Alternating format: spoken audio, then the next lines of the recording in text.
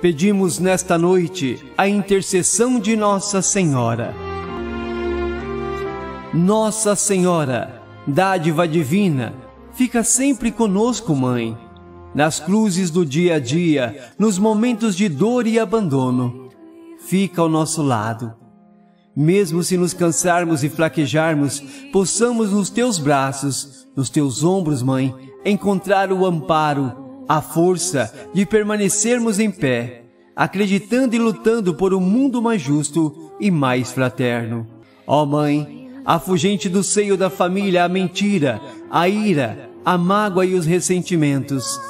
Leve às famílias a serenidade, a superação de todos os conflitos e como intercessão particular neste momento, apresento todos os meus familiares e todas as pessoas que estão ouvindo esta oração por tua especial intercessão, livre-os de todos os males e perigos.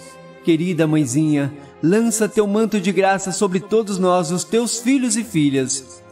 Cuida principalmente dos mais feridos e dos mais necessitados, e faça com que eles reencontrem o sentido de viver.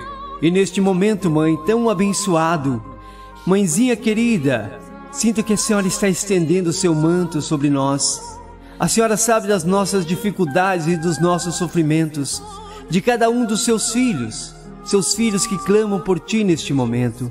Coloco em teu manto sagrado todos os sentimentos de impotência, de medo, incredulidade, cansaço e alegria. Coloco todos que estão sofrendo, sofrendo com a Covid-19, sofrendo internado nos hospitais, os leitos de UTI, acolhe-os, mãe, e fortalece-os, Passe, mãe querida, na minha vida e na vida daqueles que as lágrimas expressam a dor, a amargura, o pior dos abandonos, a indiferença. E nesta noite, querida mãezinha, eu tenho tanta coisa a dizer-te que nem sei por onde começar.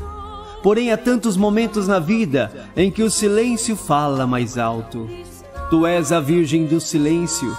Diante dos grandes mistérios, tu te calaste pois quando o mistério é grande demais, as palavras pouco dizem. Calava-te para deixar todo o espaço disponível para Deus. Tivemos calada ao caminho do Calvário, acompanhando cada passo do teu filho Jesus, carregando a cruz, vendo cair cada gota do seu sangue. Tivemos, mãe, calada ao receber sem vida em seus braços o Autor da vida. Senhora do silêncio, Tanta coisa eu gostaria de te dizer-te nesta noite, mas prefiro hoje fazer-te uma prece silenciosa e que no silêncio desta noite eu possa perceber o carinho e a ternura do seu amor maternal.